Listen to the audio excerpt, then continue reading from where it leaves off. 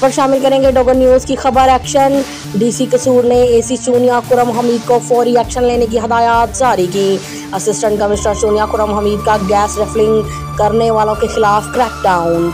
Deputy commissioner कसूर फयाज अहमद मोहल की हदायत पर असिस्टेंट कमिश्नर चूनिया रिफलिंग करने वालों के खिलाफ मतहरक इलाहाबाद में गैर कानूनी रिफलिंग करने वालों के खिलाफ कार्रवाइयाँ जारी। प्राइस मजिस्ट्रेट महकमा सिविल डिफेंस और म्यूनसिपल कमेटी की अमला ने गैर कानूनी गैस रिफिलिंग करने वाले 20 से जायद दुकानें सील कर दी। गैस रिफिलिंग करने वालों के खिलाफ 20 अस्तगाजात मुकदमा के अंदराज का हुक्म। असिस्टेंट कमिश्नर चुनिया खुरम हमीद के हुक्म पर मुतद गैस रिफलिंग पम्प और इलेक्ट्रिक कंडे वगैरह कब्जे में ले लिए।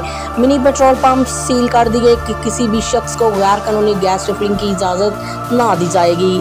डी सी कसूर ने मजीद कहा कि ऐसे समाज दुश्मन अनासर का फौरी तौर पर मुहासबा किया जाएगा। इस मौके पर इलाहाबाद के मकामी लोगों ने सहाफ़ियों से गुफ्तु करते हुए कहा कि डोगर न्यूज़ सिलेंडर धमाका के बर वक्त खबर नशर करके हम अपना करदार अदा किया है, जिसकी वजह से इंतज़ामिया हरकत में आ गई है और बड़ी कार्रवाइयाँ जारी। मज़ीद खबरों के लिए हमारे साथ रहिएगा। देखते रहें डॉगर न्यूज़।